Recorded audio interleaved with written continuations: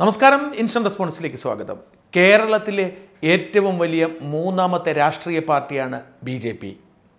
C P എമ്മിനും കോൺഗ്രസിനും പിന്നാലെ പത്തിലധികം ശതമാനം വോട്ടുകളുമായാണ് ആ പാർട്ടി മൂന്നാം സ്ഥാനം അലങ്കരിക്കുന്നത്. പതിനെട്ട് നിയമസഭാ സീറ്റുകളുള്ള ഐ യു എം എൽ പോലും ബി ജെ പിയുടെ പിന്നിലാണ്. ഭരണത്തിലിരിക്കുന്ന സി പി ഐ അതിനും പിന്നിലാണ്. ഈ ബി ജെ പി കേരളത്തിൽ ഭരണം പിടിക്കാനും ഒരു എം പി എങ്കിലും ലോക്സഭയിലേക്ക് അയക്കാനുമുള്ള തീവ്ര ശ്രമത്തിലാണ്. അഞ്ച് ശതമാനത്തിൽ താഴെ വോട്ട് നേടിയിരുന്ന എൻ ഡി എ കഴിഞ്ഞ നിയമസഭാ തെരഞ്ഞെടുപ്പിൽ പതിനഞ്ച് ശതമാനത്തിന് മുകളിലേക്ക് വോട്ട് നേടിയതുകൊണ്ട് തന്നെ അടുത്ത തെരഞ്ഞെടുപ്പിലെങ്കിലും അത് സംഭവിക്കും എന്നാണ് അവർ പറയുന്നത്. എന്നാൽ ബി ജെ പിക്ക് അണികളെ കിട്ടാനും നേതാക്കളെ കിട്ടാനും ഏറ്റവും അനുകൂലമായ ഒരു സാഹചര്യമുണ്ടായിട്ട് അത് മുതലാക്കാൻ പോലും സാധിക്കാത്ത വിധം പരിതാപകരമായ അവസ്ഥയിൽ കയ്യും കാലും ഇട്ടടിക്കുന്ന കാഴ്ചയാണ് കേരളം ഇന്ന് കാണുന്നത്.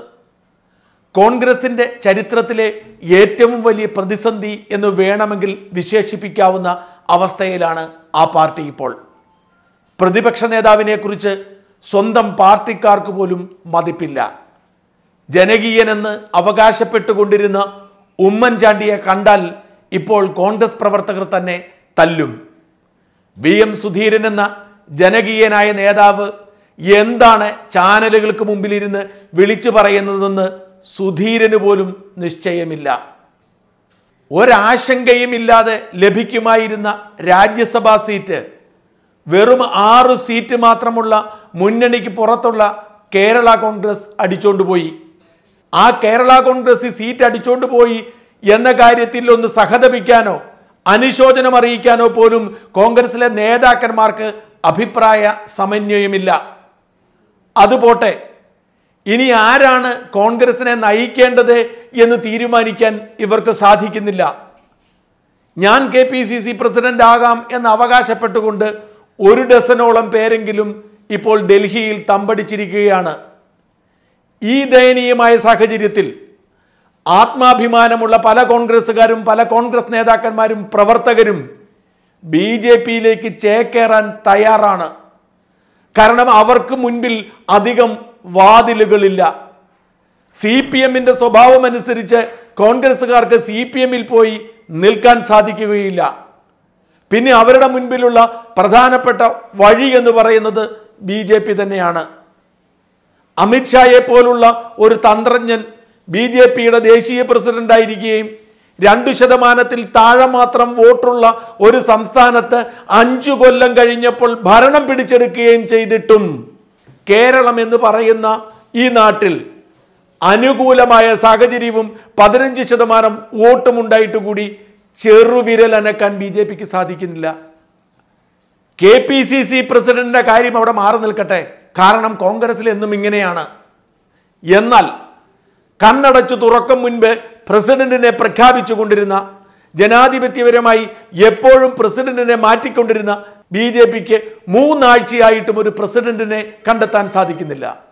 രണ്ടു കൊല്ലം മുൻപ് നടന്ന നിയമസഭാ തെരഞ്ഞെടുപ്പിൽ പതിനായിരത്തിൽ താഴെ വോട്ടിന്റെ വ്യത്യാസത്തിൽ മൂന്നാം സ്ഥാനത്ത് നേടിയ ഒരു മണ്ഡലത്തിൽ ഉപതെരഞ്ഞെടുപ്പ് നടന്നപ്പോൾ കേന്ദ്ര ഭരണത്തിന്റെ ആനുകൂല്യം ഉപയോഗിച്ചുകൊണ്ട് ഭരണവിരുദ്ധ വികാരം ഉപയോഗിച്ചുകൊണ്ട് പ്രതിപക്ഷ കോൺഗ്രസിനെതിരെയുള്ള ജനവികാരം ഉപയോഗിച്ചുകൊണ്ട് വിജയിക്കേണ്ടിയിരുന്ന ബി ജെ പി.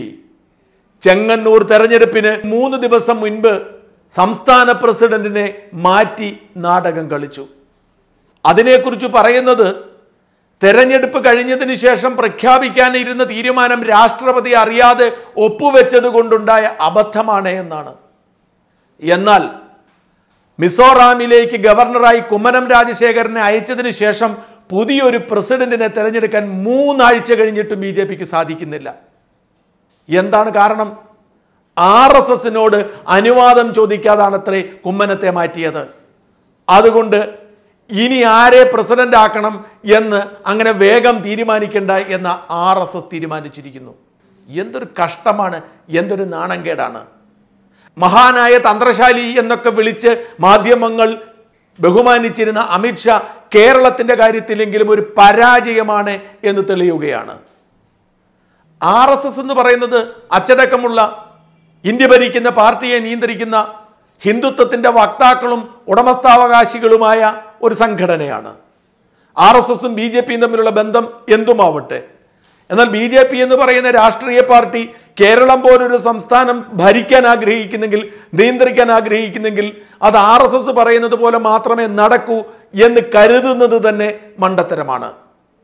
കാരണം കേരളത്തിന്റെ സാമുദായിക സന്തുലനാവസ്ഥ തികച്ചും വ്യത്യസ്തമാണ്. രണ്ടായിരത്തി പതിനൊന്നിലെ സെൻസസ് അനുസരിച്ച് കേരളത്തിൽ ആകെയുള്ളത് അൻപത്തിനാല് പോയിന്റ് ഏഴ് ശതമാനം ഹിന്ദുക്കളാണ്. അതിൽ ഇരുപത് പോയിന്റ് ഒൻപത് ശതമാനം ഈഴവരും പന്ത്രണ്ട് പോയിന്റ് ഒന്ന് ശതമാനം നായരും മൂന്ന് ശതമാനം ധീവരരും ഒൻപത് പോയിന്റ് എട്ട് ശതമാനം പട്ടികജാതിക്കാരുമാണ്. വീണ്ടും നിരവധി വിഭാഗങ്ങളായി ഹിന്ദുക്കൾ കിടക്കുന്നു. ബാക്കി ക്രിസ്ത്യാനിയും മുസ്ലിമും മറ്റു മതസ്ഥരുമാണ്. ഈ അൻപത്തിനാല് ശതമാനം ഹിന്ദുക്കളാണ് കേരളത്തിലെ പ്രധാനപ്പെട്ട പാർട്ടിയായ കോൺഗ്രസിന്റെയും ബി ജെ പിയുടെയും സി പി എമ്മിന്റെയും അടിത്തറ. സി പി എമ്മും കോൺഗ്രസും കൊണ്ടുപോകുന്ന വോട്ടിന്റെ ബാക്കിയാണ് ബി ജെ പിക്കുള്ളത്. പകുതിയോളം വരുന്ന മുസ്ലിമും ക്രിസ്ത്യാനിയും യു ഡി എഫിന്റെയോ എൽ ഡി എഫിന്റെയോ കൂടെയാണ്. അൽഫോൻസ് കണ്ണന്താനത്തിനെയും പി സി തോമസിനെയും അലി അക്ബറേയും പോലെ ചില നേതാക്കന്മാർ പേരിന് മാത്രം ബി ജെ പിക്കൊപ്പം ഉണ്ടെങ്കിലും ഒരു ശതമാനം ന്യൂനപക്ഷം പോലും ബി ജെ പിയോടൊപ്പം ഇല്ല എന്നതാണ് സത്യം. അപ്പോൾ കേരളത്തിൽ വേരുറപ്പിക്കണമെങ്കിൽ ബി ജെ പി തീവ്ര ഹിന്ദുത്വവാദിയെയോ ആർ എസ് എസ്സുകാരനെയോ പ്രതിഷ്ഠിച്ച കാര്യമില്ല. ഹിന്ദുത്വത്തിൽ ഊന്നിയുള്ളവൻ തന്നെയായിരിക്കണം ബി ജെ പിയുടെ നേതാവ്. കുമ്മനം രാജശേഖരന് പോലും ഹിന്ദുത്വമില്ല എന്നാരോപിച്ചാണ് ബി ജെ പി പ്രസിഡന്റ് സ്ഥാനത്തുനിന്ന് മാറ്റിയതെന്നാണ് പറയുന്നത്. തീർച്ചയായും ഹിന്ദുത്വമുള്ളവൻ തന്നെയായിരിക്കണം ബി ജെ പി പ്രസിഡന്റ്. എന്നാൽ ആ ഹിന്ദുത്വം വടക്കേ ഇന്ത്യൻ മോഡലിൽ വർഗീയതയാണെങ്കിൽ കേരളത്തിൽ ഒരിക്കലും വേര് പിടിക്കാൻ ബി ജെ പിക്ക് സാധിക്കുകയില്ല. ഈ പശ്ചാത്തലത്തിൽ ആർ എസ് എസ് എന്തു പറയും എന്ന് കരുതി കാത്തിരുന്നാൽ ബി ജെ പിക്ക് ഇവിടെ ഒന്നും ചെയ്യാൻ സാധിക്കുകയില്ല. ഇന്ന് Marunadan Malayali B J P president ആരായിരിക്കണം എന്ന് ചോദിച്ചൊരു സർവേ നടത്തിയപ്പോൾ പങ്കെടുത്ത വോട്ടർമാരിൽ എഴുപത്തി ഒന്ന് പോയിന്റ് രണ്ട് ശതമാനം പേരും പറഞ്ഞത് കെ സുരേന്ദ്രനെ ആക്കണമെന്നാണ്. ബി ജെ പിയുടെ പ്രസിഡന്റ് ആകും എന്ന് കരുതുന്ന എ എൽ രാധാകൃഷ്ണന് ഒന്നേ പോയിന്റ് ഏഴ് ശതമാനം പേരുടെ വോട്ട് മാത്രമേ ലഭിച്ചുള്ളൂ. ഈ സാഹചര്യം ബി ജെ പി നേതൃത്വം കണ്ണു തുറന്ന് കാണേണ്ടതുണ്ട്.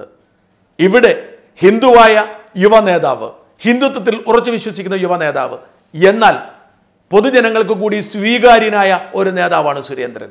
അങ്ങനെ സുരേന്ദ്രനെ പോലെയുള്ളവരെ നേതാവാക്കിക്കൊണ്ട് കോൺഗ്രസിലെ അസംതൃപ്തരെ ചാക്കിട്ട് പിടിക്കാനുള്ള ഉത്തരവാദിത്തമാണ് ഇന്ന് ബി ജെ പി ഏറ്റെടുക്കേണ്ടത്. വേണ്ട രീതിയിൽ പരിശ്രമിച്ചാൽ ഇന്ന് അറിയപ്പെടുന്ന പല കോൺഗ്രസ് നേതാക്കന്മാരും ബി ജെ പിയിലേക്ക് വരും. എന്നാൽ ആദ്യം അധികാരം പോലും ഇല്ലാത്തപ്പോഴുള്ള ഈ തമ്മിത്തല്ലും വടം വലിയ നിർത്തണം. രണ്ടും മൂന്നും നാലും ഗ്രൂപ്പായി തിരിഞ്ഞു നിന്നുകൊണ്ട് ബി ജെ പി നേതാക്കന്മാർ നടത്തുന്ന ഈ കട്ടക്കലിപ്പ് തീർക്കാനുള്ള ഗ്രൂപ്പ് വഴക്കുണ്ടല്ലോ. അത് ഈ പാർട്ടിയെ ഒരിടത്തും എത്തിക്കുകയില്ല. ബി ജെ പിക്ക് ഇവിടെ ഒരു രാഷ്ട്രീയ പാർട്ടിയെ വളരണമെങ്കിൽ ഒരു ജനകീയ മുഖമുണ്ടാവണം. അത് ജനങ്ങൾ എന്താണ് പറയുന്നത് എന്ന് മനസ്സിലാക്കണം. അല്ലെങ്കിൽ കോൺഗ്രസ്സുകാർ തമ്മിൽ തല്ലിച്ചാകുമ്പോൾ അതിന് ഗുണമുണ്ടാകുന്നത് സി പി എമ്മിന് മാത്രമായിരിക്കും. നന്ദി നമസ്കാരം.